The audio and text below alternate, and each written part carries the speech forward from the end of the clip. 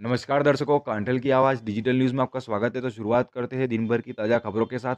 Current की चपेट में आने से एक किसान की मौत, सिंचाई के दौरान मोटर चलाते समय हुआ हादसा। परिजनों ने कहा, दिन में बिजली मिलती तो नहीं होता हादसा। प्रतापगढ़ के धमोदर थाने क्षेत्र में फेफड़ों की बीमारी से परेशान अधेड़ ने की आत्महत्या। दवाई लेने के लिए घर से निकला था, वापस लौटते समय खाया जहर। प्रतापगढ़ में मौसम के बदलाव का दौर जारी है। रात में ठंड तो दिन में गर्मी का एहसास, नवंबर में पहले हफ़्ते में गिरेगा तापमान। दिन का पारा पैंतीस डिग्री पर स्थिर। प्रतापगढ़ में जिला निर्वाचन अधिकारी व जिला कलेक्टर डॉक्टर इंद्रजीत यादव के निर्देश में विधानसभा चुनाव में होने वाले मतदान में सभी की भागीदारी सुनिश्चित करने को लेकर ज़िले भर में स्वीप गतिविधियों का आयोजन किया जा रहा है, जिसमें सड़सठ दी राज्य स्तरीय खेल प्रतियोगिता के उद्घाटन के अवसर पर विभिन्न गतिविधियों सहित शपथ के माध्यम से मतदान की प्रेरणा दी। वह पर्यवेक्षक ने अरनौद थाना एवं नौगांव पुलिस चौकी का किया निरीक्षण। निरीक्षण के दौरान वह पर्यवेक्षक श्री राख ने चुनाव प्रक्रिया को निर्बाध रूप से संपन्न कराने हेतु की जा रही कार्रवाइयों के बारे में ली जानकारी।